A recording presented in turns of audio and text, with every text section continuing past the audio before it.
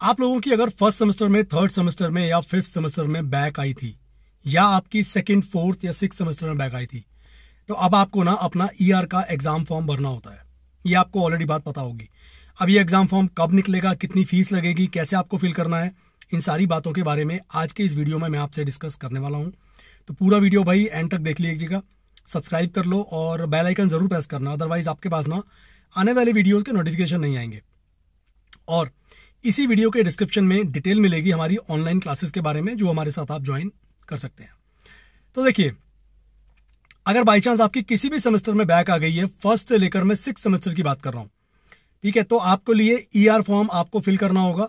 ई e form कब निकल सकते हैं? देखिए सितंबर अक्टूबर में ये ई e फॉर्म निकलना एक्सपेक्टेड है। जब ये वीडियो बन रहा है तो फ़र्स्ट सितंबर है, यानी कि इस मंथ में भी आपके ईआर फॉर्म आ सकते हैं, या आपके अगले महीने में भी ईआर फॉर्म निकले जा सकते हैं बिकॉज़ अभी तक ना डीयू सोल के अंदर थर्ड सेमेस्टर और फिफ्थ सेमेस्टर के एडमिशन स्टार्ट नहीं हुए हैं, जब मैं ये वीडियो आपको बनाकर दे रहा हूँ।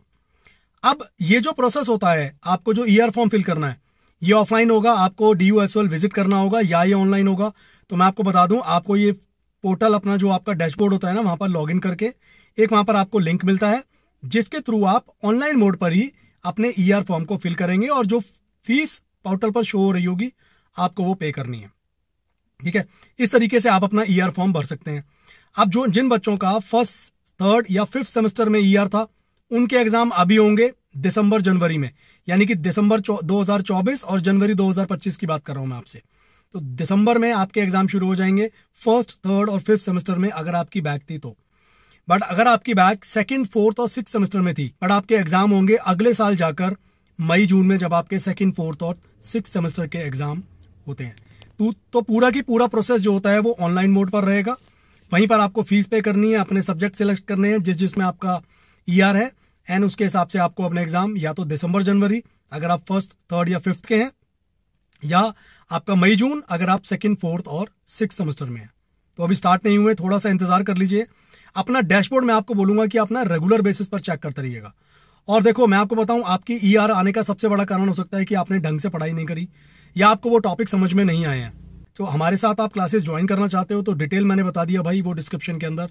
अवेलेबल है, वहाँ जाकर डिटेल चेक करो और आपका दिल करे तो क्लासेस में आ जाओ हमारे साथ ज्वाइन करने के लिए। ठीक है? पढ़ाई तो भैया आपको करनी पड़ेगी, चाहे आप सेल्फ स्टडी करें, चाहे आप किसी के साथ कोर्सेज में ज्वाइन करें, कैसे भी करो बट यार इस बार एग्ज़ाम आपके ना क्लियर होने ही चाहिए किसी भी कीमत पर।